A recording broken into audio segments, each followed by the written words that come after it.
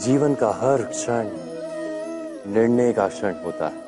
प्रत्येक पद पर दूसरे पद के विषय में कोई निर्णय करना ही पड़ता है। और निर्णय निर्णय अपना प्रभाव छोड़ जाता है। आज किए गए निर्णय भविष्य में सुख अथवा दुख निर्मित करते हैं, ना केवल अपने लिए, अपने परिवार के लिए भी, आने वाली पीढ़ियों के लिए भी। जब कोई दुविधा सामने आती है तो मन व्याकुल हो जाता है। अनिश्चय से भर जाता है। निर्णय का वो क्षण युद्ध बन जाता है और मन बन जाता है युद्ध भूमि। अधिकतर निर्णय हम दुविधा का उपाय करने के लिए नहीं, केवल मन को शांत करने के लिए लेते हैं। पर क्या कोई दौड़ते हुए भोजन कर सकता है? नहीं।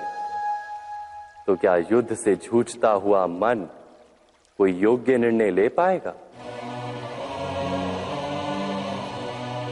वास्तव में, शांत मन से जब कोई निर्णय करता है तो अपने लिए सुखद भविष्य बनाता है। किंतु, अपने मन को शांत करने के लिए जब कोई निर्णय करता है तो वो व्यक्ति भविष्य में अपने लिए कांटों भरा वृक्ष लगाता है। स्वयं विचार कीजिएगा।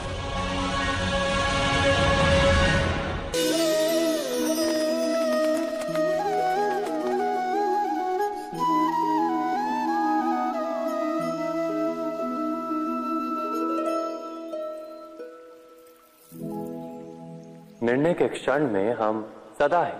किसी अन्य के सुझाव, सूचना, मंत्रणा या परामर्श को आधार बनाते हैं। और हमारे भविष्य का आधार हमारे आज लिए गए निर्णय के ऊपर होता है।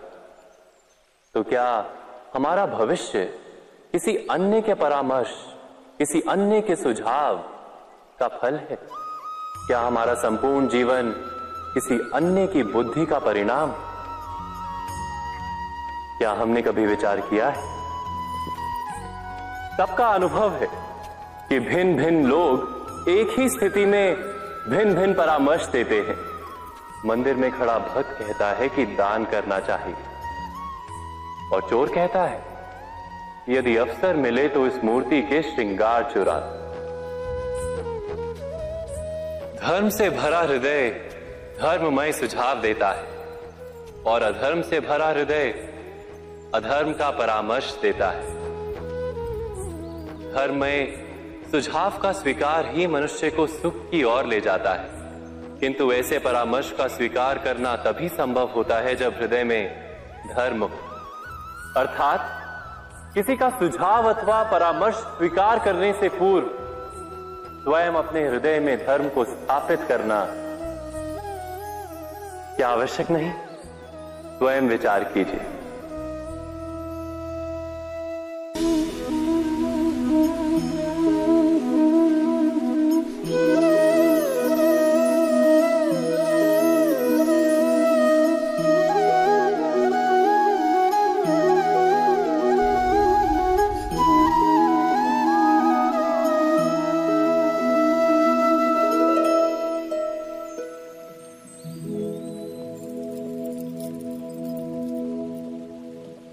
भविष्य के आधार पर सब आज का निर्णय लेना चाहते हैं।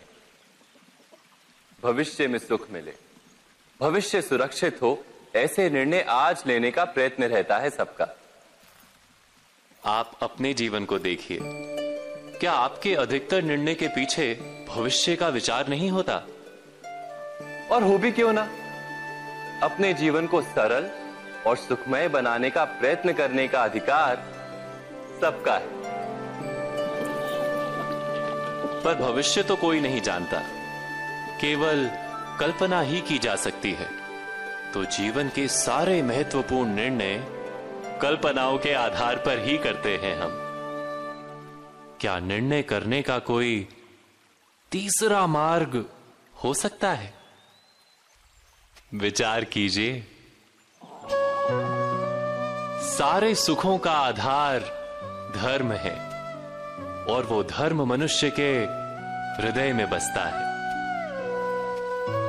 तो प्रत्येक निर्णय से पूर्व स्वयं अपने हृदय से ये प्रश्न अवश्य पूछ लेना कि ये निर्णय स्वार्थ से जन्मा है या धर्म से? क्या इतना पर्याप्त नहीं? भविष्य के बदले धर्म का विचार करने से क्या भविष्य अधिक सुखपूर्ण नहीं होगा। स्वयं विचार कीजिए।